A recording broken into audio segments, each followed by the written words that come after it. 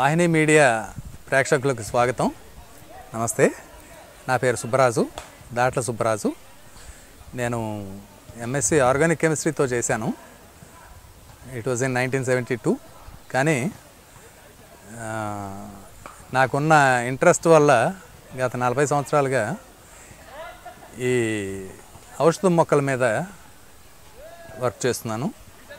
ఔషధ మొక్కల మీద తర్వాత ట్రైబల్స్ మెడిసిన్ మీద ఎథ్నో మెడిసిన్ అంటాం ఆ ట్రైబల్స్ మెడిసిన్ మీద. తర్వాత మ్యానుస్క్రిప్ట్ కలెక్షన్ కూడా అంటే తాళపత్ర గ్రంథాలు కలెక్షన్ కూడా చేస్తున్నాను. చాలా వరకు చేశాను మూడు నాలుగు వందల గ్రంథాలు ఉన్నాయి మా దగ్గర. అవన్నీ స్కాన్ చేస్తున్నాం. అంటే ఇవేవి అంతరించిపోకూడదు అని మా ఆకాంక్ష. చాలా ముఖ్యమైన ఔషధ మొక్క. ఇది మన ఈస్టర్న్ ఘాట్స్లో విస్తారంగా దొరికేది పూర్వం. ఇప్పుడు బాగా తగ్గిపోయింది దీన్ని సర్పగంధ అంటారు. సర్పగంధ. మనకి అంటే దీని వేరుని మాత్రమే వాడతారు. ఈ వేరు యాక్చువల్గా డయాబెటీస్కి పనిచేస్తుంది. అలాగే బీపీ కూడా పనిచేస్తుంది. కానీ చాలా తక్కువ మోతాదులో తీసుకోవాలి. మోతాదు ఎక్కువైతే మాత్రం ఒకసారే అంటే షుగర్ లెవెల్స్ బీపీ లెవెల్స్ రెండు పడిపోతాయి. అంచేత కొంచెం జాగ్రత్త తీసుకోవాల్సిన మొక్క ఇది. ఒకవేళ రోజు వాడేవాళ్ళు అయితే మాత్రలు అయితే పర్వాలేదు డైరెక్ట్గా కంపెనీలు తయారు చేసిన మాత్రలు అయితే తీసుకోవాల్సిన మోతాదులో మాత్రమే వాళ్ళు దీనిలో వేసి ఉంచుతారు.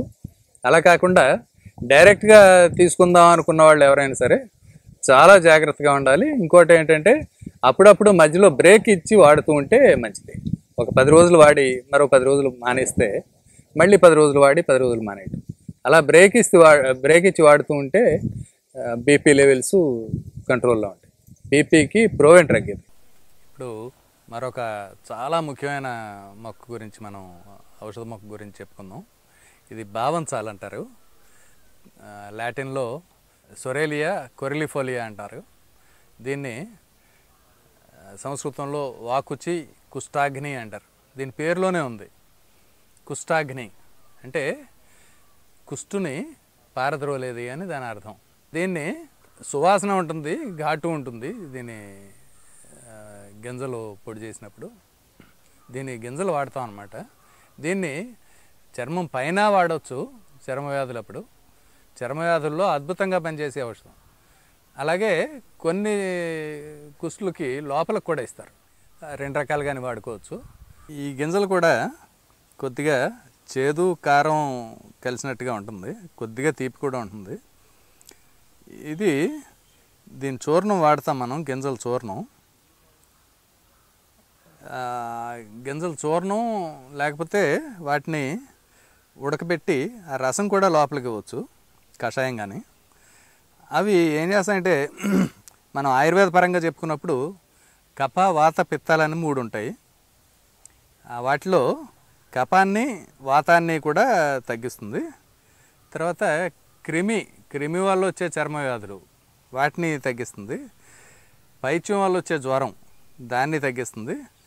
కుష్టులో అన్ని రకాల కుష్టులకి ఇది అద్భుతంగా పనిచేసే ఔషధం మొక్క అనమాట దీనికి ఏం చేస్తారంటే మెయిన్ ఇది పనిచేయడానికి కారణం ఏంటంటే దీని దీన్ని వాడటం వల్ల బాడీలో ఉన్న టాక్సిన్స్ని అంటే దేహంలో ఉన్న మలినాలని బయటికి పంపించేస్తుంది అనమాట ఇప్పుడు దీని గొప్ప నేను చాలామంది పేషెంట్స్ మీద వాడి చూశాను.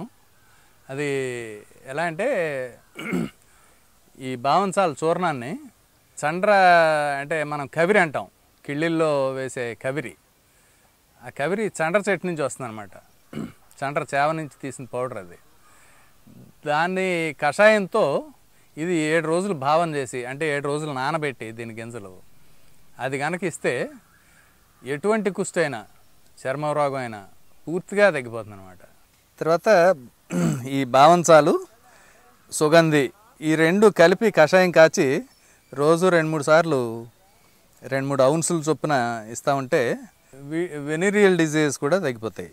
తర్వాత అంటే ఇంకొక యోగం చెప్తాను. ఈ బావంచాలు చండ్ర చెక్క తర్వాత ఉసిరిపప్పు ఈ మూడు సంభాగాల్లో కలిపి వాటి కషాయం కాచి ఉదయం ఒకసారి సాయంత్రం ఒకసారి రెండు మూడు అంశాలు చొప్పున ఇస్తూ ఉంటే చెవుడు తగ్గిపోతుంది. శ్వేత కుష్టు స్విత్రం అంటాం. అంటే బొల్లి ఆ బొల్లి కూడా తగ్గిపోతుంది. ఈ బావంచాలు మజ్జిగతో కానీ ఆవు మూత్రంతో కానీ నానబెట్టి నూరేసి శరీరానికి రాసుకుంటే ఆ చర్మ రోగాలన్నీ తగ్గిపోతాయి. దీని మోతాదు ఏంటంటే మామూలుగా చూర్ణం అయితే లోపలికి తీసుకోవటానికి పూటకి అరగ్రాము అరగ్రాము నుంచి ముప్పావు గ్రాము మోతాదు వరకు తీసుకోవచ్చు. ఆయుర్వేద గిరిజన మూలిక మరియు పారంపర వైద్యం చేసే ప్రతి ఒక్కరూ మా ఛానల్ ద్వారా మీ విద్యను ప్రజలకు తెలపాలనుకుంటే మా నంబర్కి కాల్ లేదా వాట్సాప్ చేయండి. మీ దగ్గర ఉన్న ఆయుర్వేద మరియు హెర్బల్ ప్రొడక్ట్స్లను మా ఛానల్ ద్వారా ప్రజల్లోకి తీసుకువెళ్తాం. స్క్రీన్పై కనిపిస్తున్న నెంబర్కి కాల్ చేయండి లేదా మీ వివరాలు మాకు మెయిల్ ద్వారా పంపండి. మా mail ID Vahini media at the rate of Gmail dot com. Video కనుక మీకు నచ్చినట్లయితే లైక్ చేయండి షేర్ చేయండి మరిన్ని వీడియోస్ కోసం మా ఛానల్ని సబ్స్క్రైబ్ చేయండి. మీ అభిప్రాయాలు మాకు కామెంట్స్ రూపంలో చెప్పండి. మరిన్ని వీడియోస్ కోసం మా ఛానల్ని సబ్స్క్రైబ్ చేయండి.